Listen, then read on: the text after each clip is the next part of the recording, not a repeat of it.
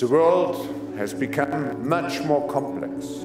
There are many more risks which we have to address jointly as humankind. This is a time of unparalleled complexity and change.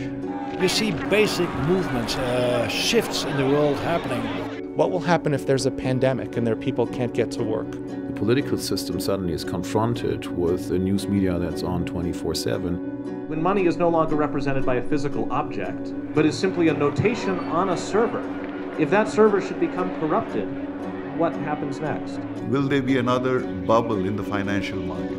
Yes. But when, where, in which form is something we cannot predict. We will not go back to the days of reckless behavior and unchecked excess. Pouvons pas nous permettre d'ignorer les vraies questions.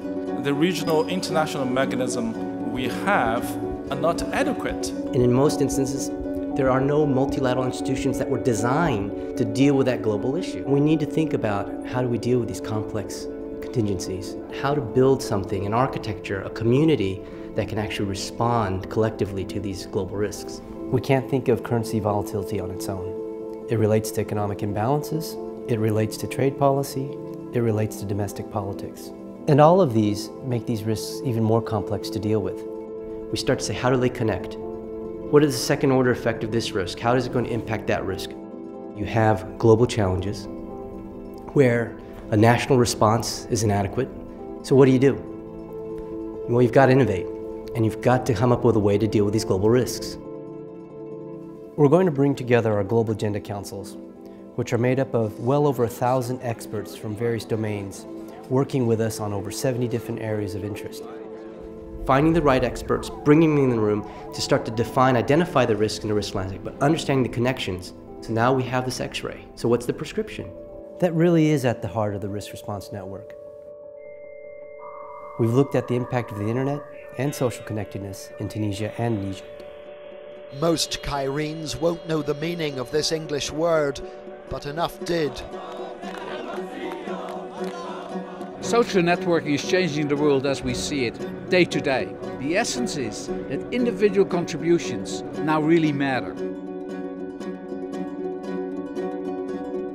Today everybody talks about what's happening in Egypt. I started thinking about hyperconnectivity, for example, as a result of some interactions I had last year. And I was not completely shocked. It's become part of what we think about, what we talk about with our clients. That's relevant very complex systems that they were disrupted would change our lives instantly. What if the internet shut down? What would that mean for business? What would that mean for government?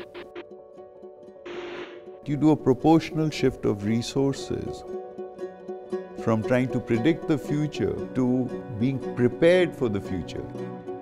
You know, earthquakes are a good example.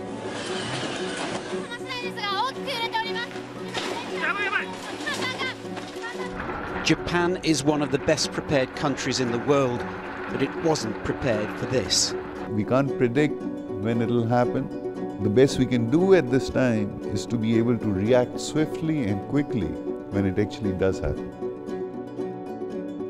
We're very much of the belief that if one thinks about how to think from a preventive perspective, or how to think about resilience in advance, that we can be much more effective in dealing with the next problems the next crises that emerge. The Forum has a long history of building logistics emergency teams. We've built our disaster relief program, which has had a number of our members from the engineering and construction sector deploy resources to areas affected by natural disasters.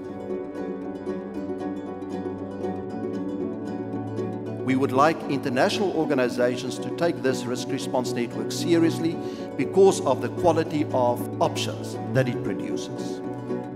Risk response is not something which uh, is negative. It should be positive in creating out of the risk an opportunity.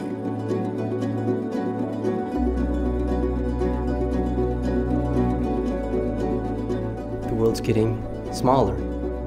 We have to build a risk response network.